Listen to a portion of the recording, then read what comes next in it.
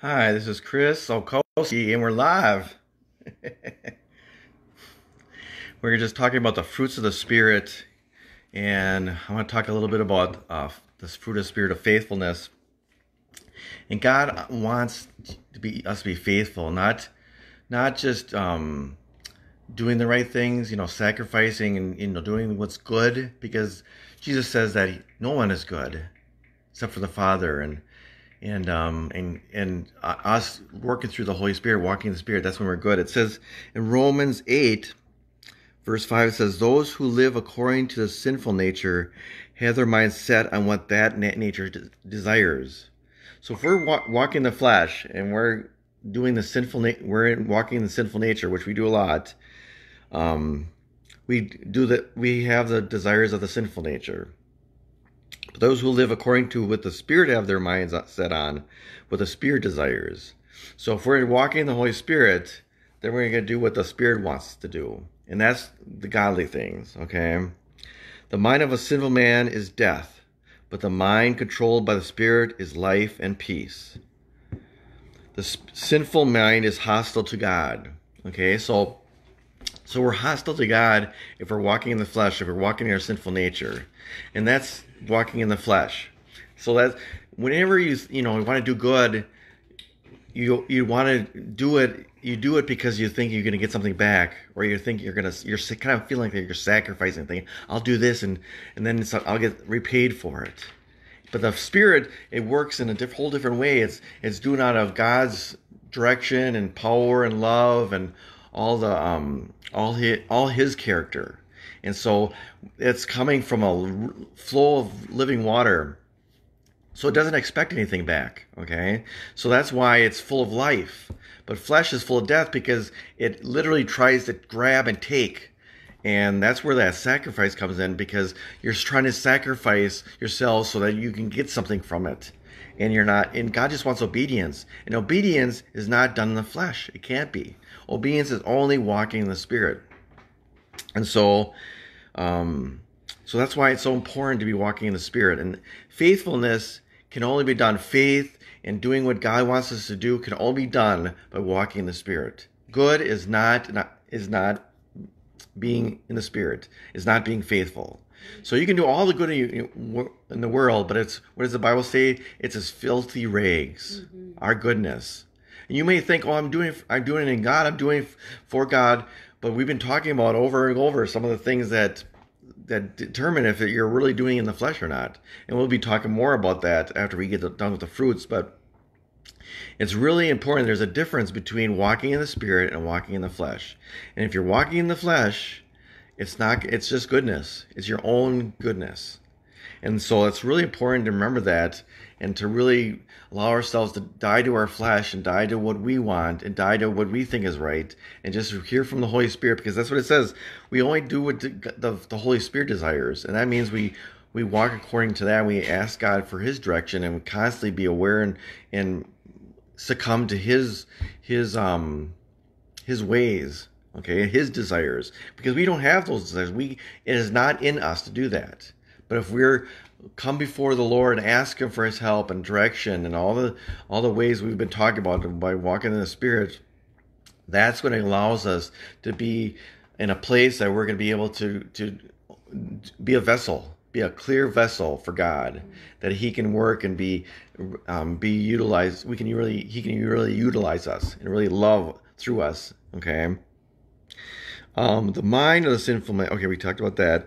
Then the verse seven, the sinful mind is hostile to God. It does not submit to God's law. See, it, it's you know we try to do all these things right. I mean, the Pharisees and the Sadducees they did everything according to the law, but Jesus said, "You are full of dead man's bones," and that's why.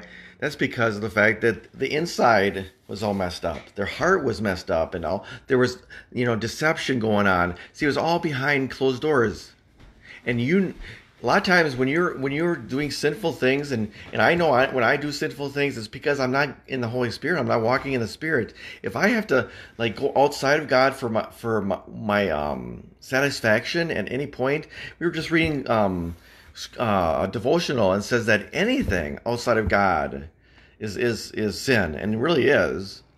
Um, so that's that's because we want to fill, be filled, and if we're walking the Spirit, we're constantly being filled. And if we walk outside of that, if, you know, I know when I play my games or watch TV, that's all being filled. That's self satisfaction, self gratification.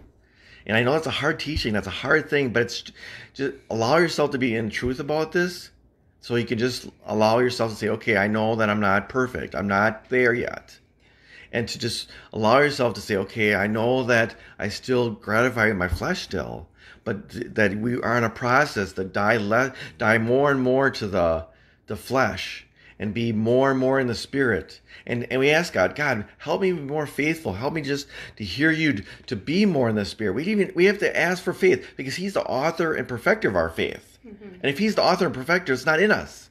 So you can't just say, "Oh, I'm going to have more faithfulness. I'm just I'm just going to hear God." No, we need his help.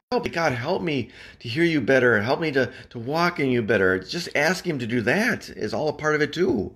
That's what fruit of this, uh, fruit of faithfulness is: is to ask for the faith, ask for His His guidance, ask for the strength, ask for whatever I need, so I can be at a place to walk in the Spirit. Just being able to walk in the Spirit, I have to ask Him for that, so that I can just be full of Him and know that He's the author of this and He's the director of this, and I have nothing in me, and and and allowing myself to be weak and not in control and not full of myself.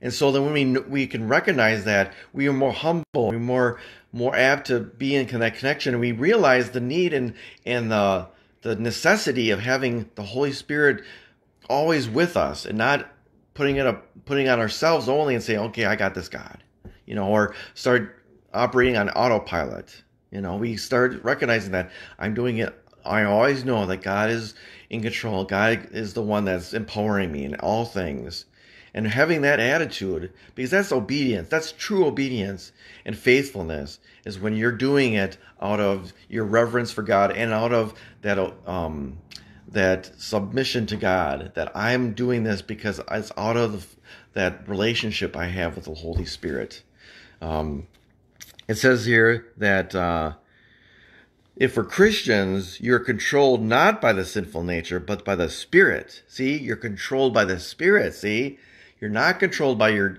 desires or, oh, I feel like I should do good there. I should do this or do that. No, you're not affected by the situation. I mean, yeah, going on, you're like, oh, I really should do that. Then you say, God, you know, help me, you know, to, to know how, which I should do in this situation. You don't all of a sudden just do it. Mm-hmm. You, you're directed by the Holy Spirit, and you're like, God, I just really feel I should do that. And a lot of times He says, Yeah, do this, but then He'll give you specifics on how to do it because He says, I'll tell you what to say, I'll, t- I'll show you what to do. And that's where we need to get to. We need to be faithful in, in doing what God wants us to do, but in the Holy Spirit, not in our flesh. Because when we just jump at whatever we think is good, you know, doing good or doing the right thing, that's when we're doing in the flesh, when we just think, oh, I really should do that, or oh, I should do that. Even at work, I've noticed that God's saying, really teaching me, says, Chris, you do so much in your flesh when you're at work because I know what to do. I know it's the right thing to do, but I don't say, God, I want to honor you and I want you to be in you and I want to be in the Holy Spirit when I do these things. And so I really got to, I have to allow myself and teach my, you know, just perse- persevere and, allowing the, recognizing just how the Spirit wants to, us, me to be an old vessel, even an open vessel at work. And I can just flow through me and, and acknowledge that. And I'm not saying that you have to always be thinking God, thinking God, as much as having that acknowledgement of God, you know, um, where's that one scripture? Um, if you uh, acknowledge me before um, before men, and I will direct your path. I'm trying to think. Acknowledge him. Oh, in all things acknowledge him, and he will direct your path. See, that's just like acknowledgement and knowing that it's not me. It's I cannot do this on my own. I have to do, follow the Lord, follow the Lord, and and then while you're doing things, you're know you're eh, eh, realizing that you're, you're not controlling this you're not you're eh, being aware of the holy spirit in this and it's kind of scary because we like to take control this or something we have to want to protect ourselves it's almost like we're not protecting ourselves we're not really on guard we're just allowing us to be vulnerable because God is all things. So if something comes at us that hurts us, His love covers it. If something comes at us that we're com- frustrated by, his peace covers it. If if we're, you know, all of a sudden something bad happens, his joy covers it because he works all things out for the glory um, for all. I always, I always those who love him. Yes. to- Yes, He works all things out for those who love Him. Okay, so how that see how that works? That's how we be faithful. That's how we walk in the Spirit. That's how we we be full of faith and and be what God wants us to be every moment of the day. Pray. It's time. And it's time, the wife says. It's five forty. Okay, I'm just gonna um, share one little quick quick thing. Is that that the talents, the when you have ten talents, got and, and they came back with more ten more. He says, "Well done, um, good and faithful servant. I will put you in charge of many things. Come and share your master's happiness." So that's heaven. So when we're faithful, that's true faithfulness because God's gonna allow us to really be in Him. But if you, the last one says that, that our person was in, was afraid of that that he, he to use his talent, and he was afraid that God was was gonna be harsh to him, so he was really cautious and didn't do much. And, all, and then I said, God, I I got your one talent back, and he was really mad at him. He says, You're you're a worthless servant because he wasn't he was in his flesh because he was full of fear. He was full of of his own self, thinking about himself. And that's where we have to die to that. We die our fears, die to our own needs, and just trust God and be faithful. So, Lord, we just pray that you help us to be faithful and everybody listening, Lord God, to really see from you, Lord Jesus, and to, to walk in you in this way, Lord God, that we don't do what is good in our own eyes, Lord, but, Lord God, but ask you, Lord Jesus, and, and just acknowledge you in all things so that we can walk in you and, and be your, have you guide our steps, Lord. In Jesus' name, amen. Okay, God bless.